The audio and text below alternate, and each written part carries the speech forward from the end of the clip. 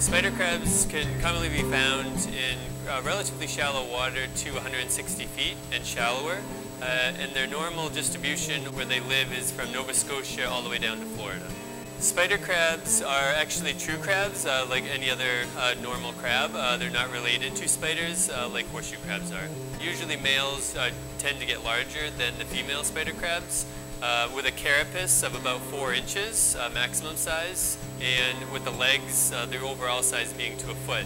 That would be the males. The females tend to be a little bit smaller, uh, once they reach maturity, they also stop growing, the females do, so uh, those tend to be maybe up to 9 inches for the females. Spider crabs are uh, found in a group uh, called uh, decorator crabs.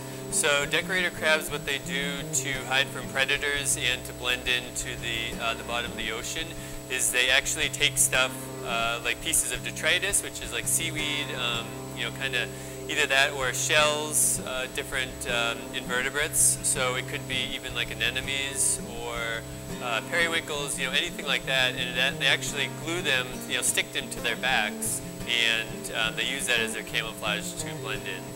One interesting thing about the legs of the spider crab is uh, on the ends of the walking legs, they actually have uh, sensors where they can actually uh, taste and they can smell if there's um, anything for them to eat um, in the sand and stuff that they're walking around. So as they're moving around, they're constantly smelling and seeing if there's anything like worms or um, they actually also eat small sea stars, uh, things like that in the sand. So as they're walking, they're actually um, always kind of smelling and looking for food.